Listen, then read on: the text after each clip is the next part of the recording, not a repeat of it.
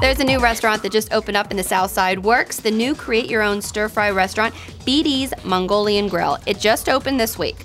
Born out of the ancient Mongolian tradition of hunt, gather, cook, feast, guests have the control to create their own feast and watch it cook before their eyes on a large, flat grill. Sounds delicious. Have to try it out.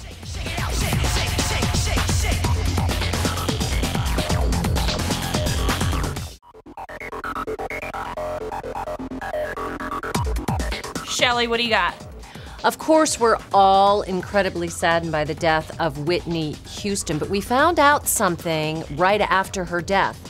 Simon Cowell was actually considering her to be one of the replacement judges on The X Factor before her tragic death. That's so tragic. We'll always love you, Whitney.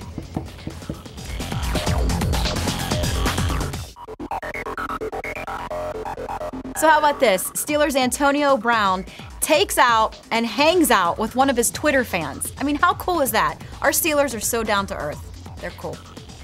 Maybe I do need to get on Twitter. How cool is that?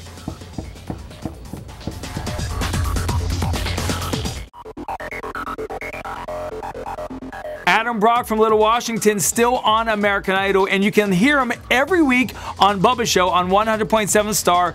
Our friends over at Fox had a chance to go behind the scenes with Adam. Don't forget to watch Idol Wednesdays and Thursdays at 8 p.m. on Fox 53.